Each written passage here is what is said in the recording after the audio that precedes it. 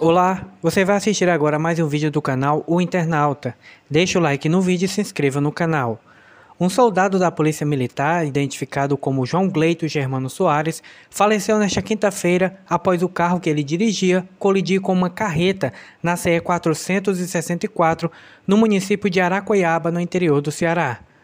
O policial morreu no local e o corpo dele ficou preso às ferragens. Uma equipe do Corpo de Bombeiros de Guaramiranga foi acionada para fazer a remoção. Não foi repassado detalhes sobre o condutor da carreta.